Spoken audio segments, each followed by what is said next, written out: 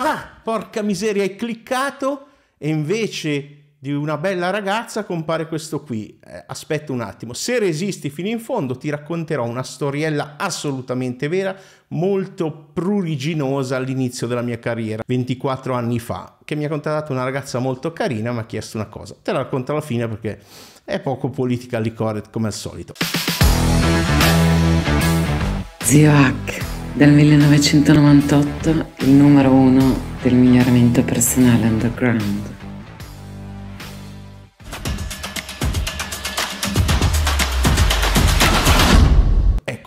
c'è una pillola magica? Ebbene sì, è validata, mi dice ChatGPT 4, da un migliaio di ricerche scientifiche su, solo su riviste super quotate, riviste scientifiche, ovviamente, come al solito, tutti dico tutto scientifico, aspetta, aspetta, aspetta, resisti, che porta a riduzione dei livelli di stress in ansia eh, riduce il sistema nervoso simpatico che non è quello così simpatico in realtà ma è una cosa complicata e, e come sempre no? aumenta la resilienza quella parola che piace tanto no? ovvero la capacità di gestire situazioni far fronte a situazioni di stress abbassa la pressione sanguigna supporta l'immunità attenzione a questa pillola magica perché esiste adesso ti racconto l'infiammazione anzi sorpresa anche alla fine qua migliora la tua espressione genetica, migliora il tuo sonno, o meglio epigenetica, eh, riduce il declino cognitivo, cazzo, quelli della mia età eh, ne hanno bisogno, migliora la memoria a breve termine,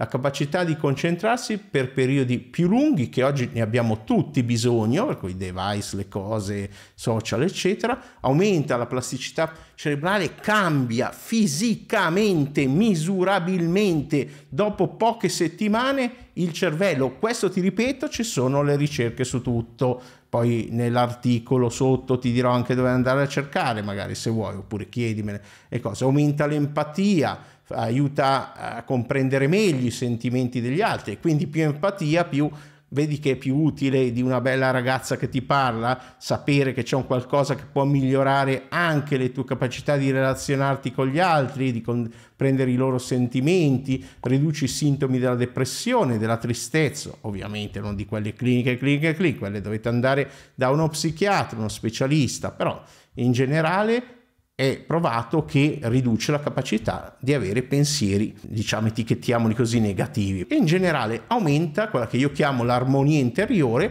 che è la felicità, la soddisfazione della vita e la consapevolezza del momento presente, questa è la chiave. Mi fermo qui perché le ricerche, ripeto, sono più di un migliaio, quelle solide, poi ci sono quelle un po', un po' così, magari parliamo anche un po' di quelle, magari nei podcast. Ecco, sei pronto a scoprire questa pillola magica, questo magico supplemento integratore scientificamente basato? Probabilmente l'hai visto nello spoiler del titolo, ma se te lo dico, lo assumerai ogni giorno? È la pratica della meditazione di consapevolezza. La mindfulness, allora io personalmente preferisco la mindfulness che ha una bella presenza e consapevolezza, ma per accedere alla mindfulness, che è il livello più elevato, bisogna passare dalla mindfulness.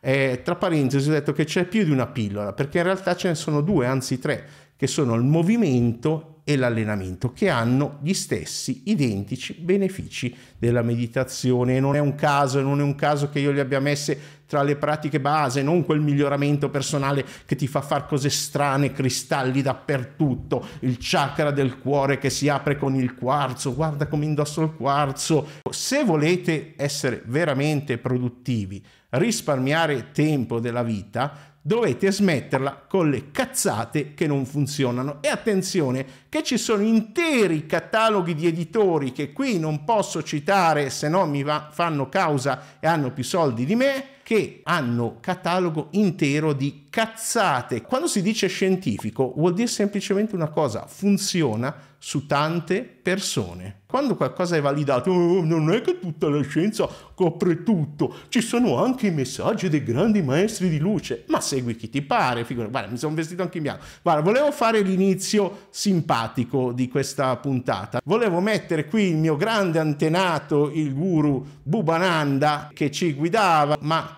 e invece vediamo che questo è un problema serio. Perché? Intanto chi sono? Sono lo zio H, Francesco, dal 1998 mi occupo di divulgazione di miglioramento personale. Sono partito dalla fuffa New Age, sono arrivato al scientificamente verificato. Ho fatto un percorso che eh, pochi altri fanno, perché ognuno adesso vedremo si attacca alle proprie idee e non si stacca più. Dal 1986 io pratico ogni giorno delle tecniche meditative senza saltare un giorno. Ho già mostrato, raccontato la mia storia in un altro video, lo troverai nel podcast sotto del mio blog knews.net, eh, seguilo ho mostrato anche un altro video, alcune delle tecnologie device usati, solo quelli che funzionano, perché io una politica. Non parlo delle persone che spargono fuffa, non li voglio promuovere, non voglio cause, ma soprattutto non voglio promuovere, fargli pubblicità e soprattutto non parlo anche dei device che non funzionano, quelli con le lucine, non hanno mai funzionato su di me, li ho provati tutti, roba che vibra, cagate di ogni genere, anche recentemente se guardate nei miei short c'era un device che nove ricerche pubblicate, quindi non è che tutto quello che scienza funziona, anche perché quando le ricerche se le fanno loro, come certe scuole di meditazione non faccio nomi, che sono create delle riviste finte che non sono scientifiche e mettevano sulle loro ricerche, vabbè, ma non sono scientifiche, hanno creato degli effetti, ma minchia, che non esistono, eh, dei poteri che nessuno ha mai verificato. Ecco, è chiaro che uno scettico di fronte a questo mondo non mediterà mai. Eppure ci sono, se volesse uno scettico essere razionale veramente e vivere seguendo la scienza, che ripeto non ha mai certezze, sempre dubbi, si fa domande, ma si aggiorna continuamente, sicuramente dovrebbe meditare tutti i giorni. Come appunto ce n'è una specifica scientifica e se uno vuole avere una vita appunto scientificamente basata non può ignorare queste due pratiche, la meditazione e il movimento, ma oggi parliamo di meditazione ovvero chi è razionale e dice di esserlo nei forum online dove chatta tutto il giorno blah blah blah, e non pratica la meditazione la mindfulness è solo razionale in teoria e la volta scorsa nel blog vi ho parlato della differenza tra teoria e pratica. Il mondo dove si pratica la meditazione è tremendamente non scientifico. Aggiungerei dannoso, anche quella validata più in voga dagli psicologi, l'MBSR, diciamoci la verità, non è un granché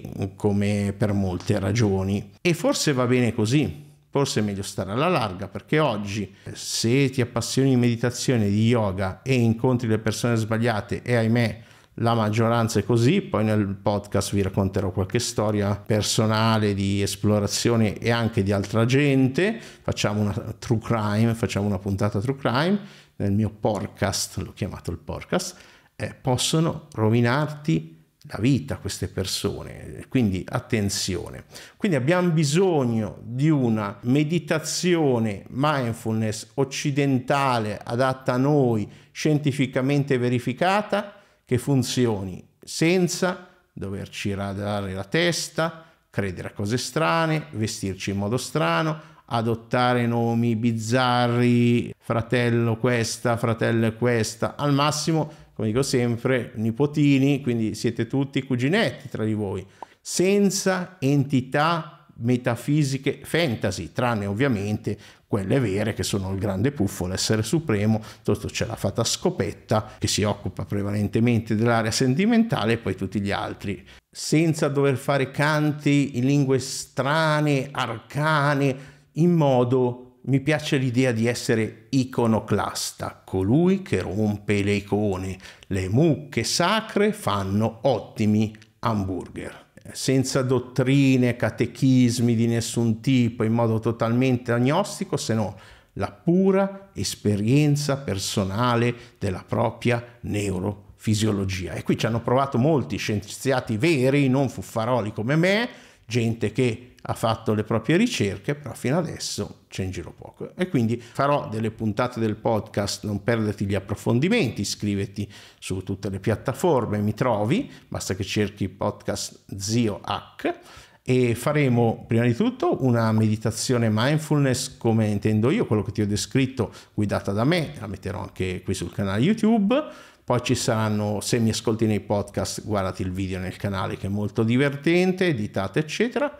Poi ci saranno due o tre storie, ripeto, la versione True Crime dei pericoli della ricerca spirituale e poi voglio spiegarti perché il mio cammino di diventare Jedi, Illuminato o Batman è fallito. Penserete tutti, questo è un disfattista, un coglione, smetto di seguirlo. Auguri, auguri, buona fortuna, la porta è aperta, attenzione a non sbattere il culo in uscita.